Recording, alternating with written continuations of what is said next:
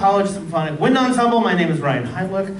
I am the leader of this rambunctious bunch, and um, or the person at least standing in front. I'm not going to say I'm the leader because they kind of lead me. So, um, but we're about to present a bunch of music that is hopefully just very joyous for you. I was in the music mood for some some joyous music. Some of these are student suggestions, just pieces we've played over the years or not that are brand new to us that hopefully just, just embody joy and the spirit of music. So with that in mind, here is the Freelance march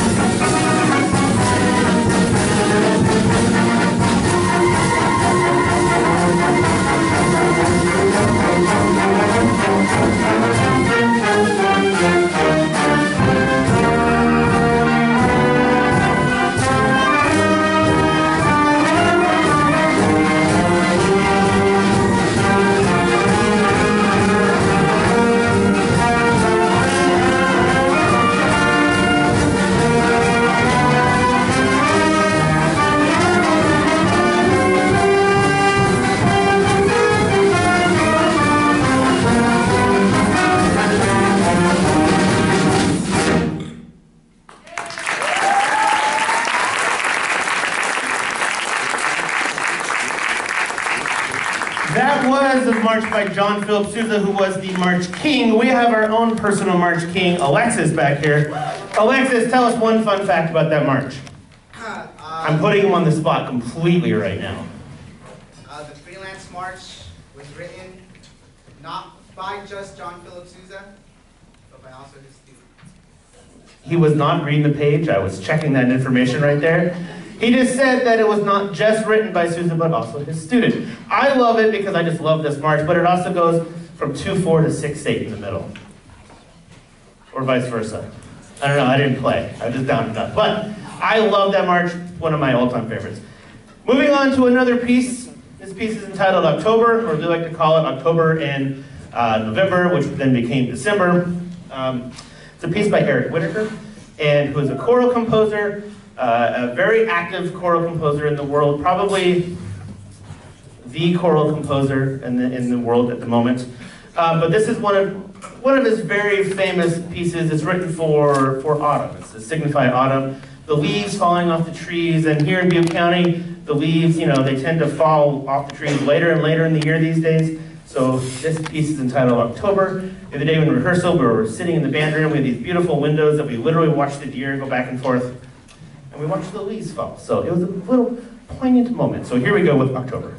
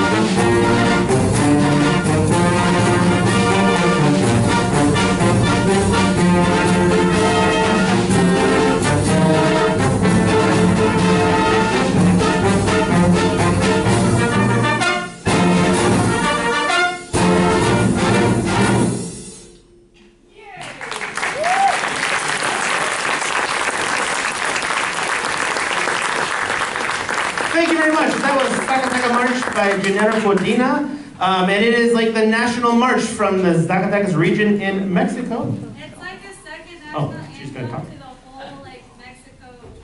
It's the second national anthem for Mexico. So it's a really great piece. Um, I think they play it really, really well too. Okay, um, up next, we are going to feature something and somebody. Um, this next piece will be a world premiere. It's never been performed anywhere else except for right here. Um, it is a piece entitled Na, and it is from a local composer who grew up in Colusa and then went to San Jose State as a music major, um, and then uh, did student teaching at Chico High School and is now a composer um, and living in the area. And they really have a lot, a lot of really great music. This piece is included. Um, they have a premiere coming up with an honor band um, in, in Chico for an honor band that they were in when they were in well, middle school, since it's a middle school honor band. So this piece is not. Uh, we also asked them to play clarinet in the band, because, you know, why not? So I'm going to ask them to come on up and uh, introduce the piece a little bit. Uh, so please welcome Alec Schnatz. Stand, stand, stand, stand.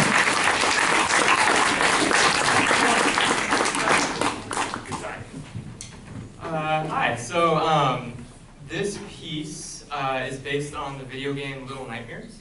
So I'm not really much of a video game person myself, but um, my freshman year in college, uh, my roommate, who's now my best friend, brought up this game to me. He's a real video game person, uh, and we played it together, and it was kind of the first like real bonding moment we had together. Um, and so this game, which is a really great game on its own, also kind of symbolizes our friendship. And so he's also a writer, and we both decided we're going to write something about this. I was going to write a piece of music, and he was going to write a couple of poems. Um, that happened my freshman year in college, which was like five or six years ago at this point. That piece that I wrote then was not very good. But um, this past year, since I've been composing more and have a more of a grasp on what I'm doing, I decided to revisit it uh, and write it for band. So um, if you've played the game Little Nightmares, this piece follows the story of that game loosely. Um, there's even markings on the page that kind of indicate that, like different places in that game.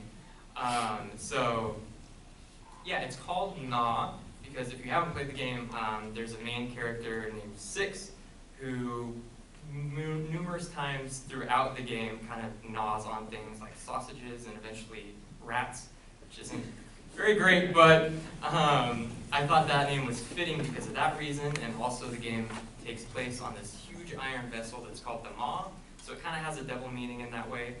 Um, and yeah, I hope you enjoy this piece. This is not. Shantz. Shantz is his last name. Sorry.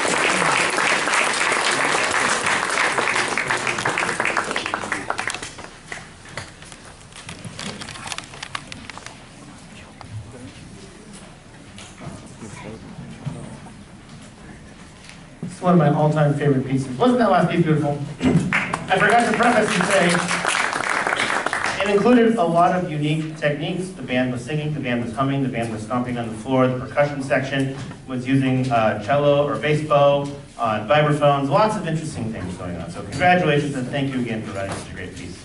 Check out,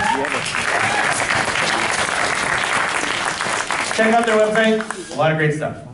Um, okay, this next piece is one of my all-time favorite pieces. I have just the fondest memory of playing this piece when I was a grad student. Um, this is Children's March by Percy Grainger.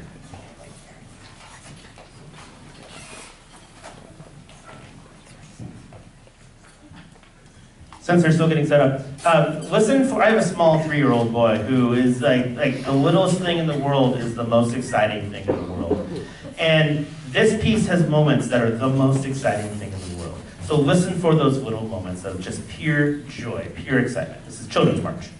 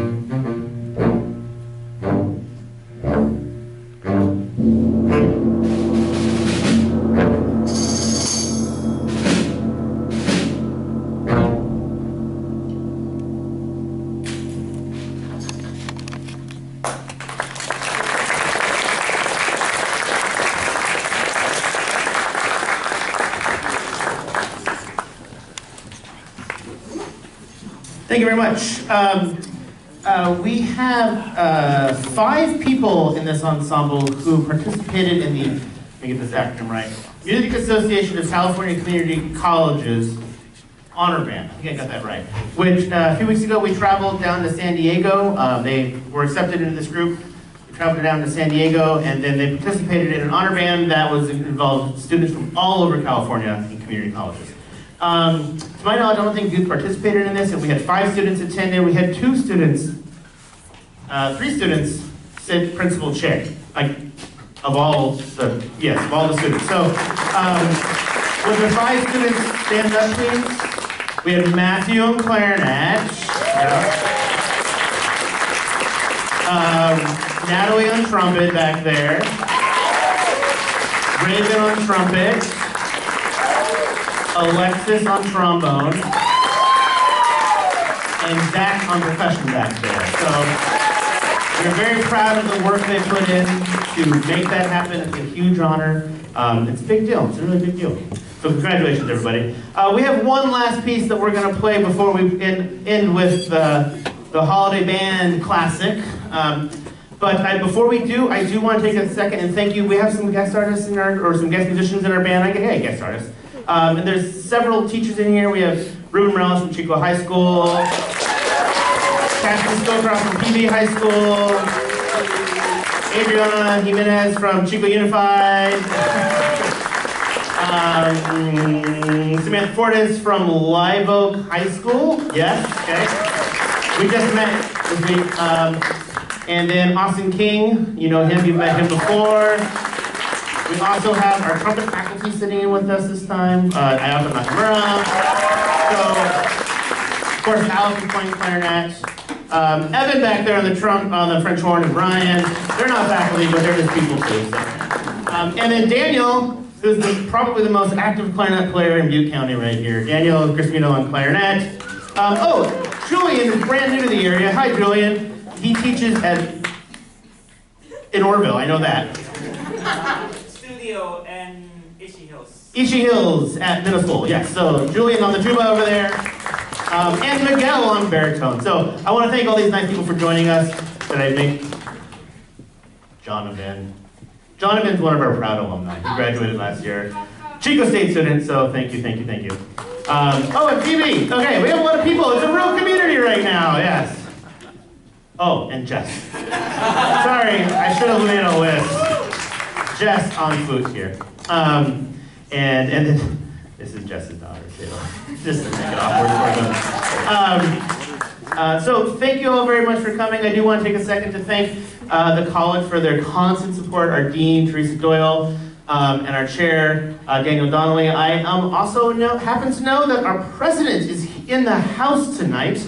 Um, so President uh, Virginia Gulof is over in that area. I can't see. I see a hand wave, vaguely waving. So we do really thank you for your constant support of what we are doing. Um, and uh, so thank you. Um, thank you to all you. Thank you to you. Uh, we're gonna thank you, thank you, thank you. I told them I've had a little bit of a rough semester. Both of my kids got that RSV thing that's going around. It was really rough. They were awesome in supporting me in that, so so thank you for that. Okay. Um, but we're gonna end with two last pieces. Did I forget anything? No, we're good. Okay. Thank you all for coming tonight. I know it was a long night. We usually wouldn't have both concerts on the same night, but circumstances dictated that we do. Uh, so here we go. The last piece is in living color. It's by a composer, uh, Katahj Copley, who's about 22 years old. Very young composer, very fantastic composer. This piece is a short burst of fun energy. and then we'll end on sleigh ride because we have to, right?